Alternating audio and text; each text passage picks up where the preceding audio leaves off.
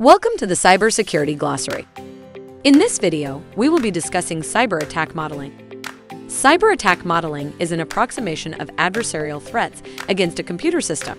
Cyber attack models are created to identify and simulate attacks against security environments using likely adversary techniques and attack paths. By modeling attacks, defenders better understand the behavior, tactics, and objectives of adversaries and can take steps to remediate any vulnerabilities within their environments.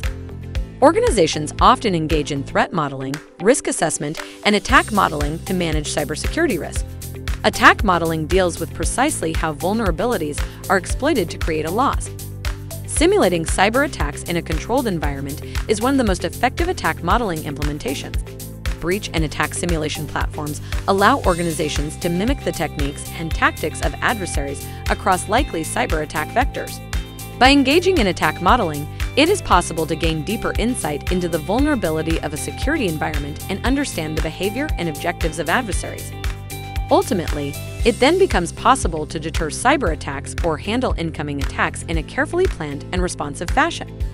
Thank you for watching our cybersecurity glossary about cyber attack modeling created by XM Cyber. We invite you to watch our other videos.